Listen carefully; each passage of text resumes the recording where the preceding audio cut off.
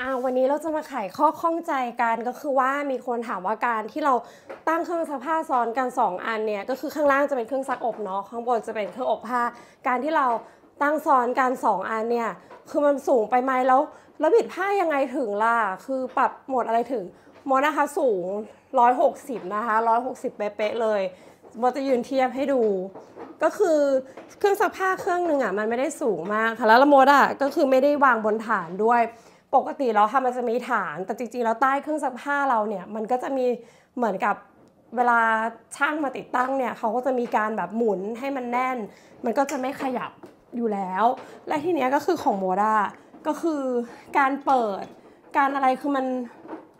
มันปกติเลยค่ะมดไม่ได้รู้สึกว่าฉันต้องขย่งก็คือแค่เนี้ยบิดเปิด ใด ๆ ใส่ผ้า หยิบข้างล่างขึ้นมาใส่มันก็คือง่ายมาก แล้วมันก็ไม่ได้สูงด้วย ก็คือถนัดมากๆคือเราสูง 160 ถึงมดจะสูง 150มดก็เลยรู้สึกว่ามดก็ยังยังบิดได้ยังไทยได้หมดยังมองอ่านเห็นทุกอย่างเป็นปกติค่ะก็คือว่า จะบอกว่ามันไม่ได้สูงแล้วคือการเชื่อมต่อค่ะของมดจะเป็นบอสข้างล่างจะเป็นบอสรุ่น WNA คือเป็นซักอบเนาะ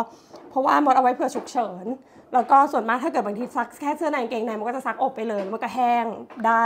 แล้วก็ส่วนเราจะเราจะทำการซ้อนกันด้วยกันถ้าเป็นของ Bosch นะคะมันจะมี stack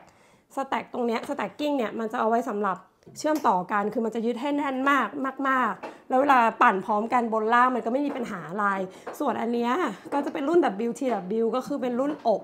อย่างเดียว ก็คือวางซ้อนกันได้ ก็คือที่มดเปลี่ยนมาเพื่อจะให้มันแบบมันมาอยู่ด้วยกันได้แล้วก็ทำอะไรได้อย่างถนัดในที่เดียวกันเนี่ยแหละค่ะคลายข้อข้องใจกันแล้ว อันนี้แบบเร่งด่วนเพราะว่าหลายคนถามว่ามันถึงได้ยังไง มันถึงโมก็ว่าทำไมมันจะไม่ถึงเพราะว่าเครื่องหนึ่งอะมันเตี้ยค่ะ ก็เลยจะมาทำให้ดูว่าถ้าใครกำลังลังเลอยู่ว่าจะซ้อนได้มันจะสูงไปไหม ไม่มีปัญหาเลยครับผม